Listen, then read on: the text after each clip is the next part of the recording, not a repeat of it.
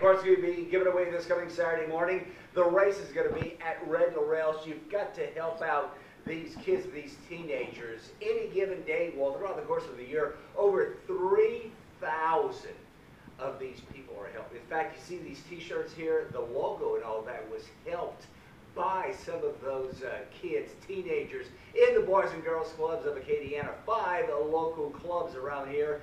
You're going to be doing a great service to the community. Only $5 a duck. There's also some other great prizes. You want more information, 237 duck or.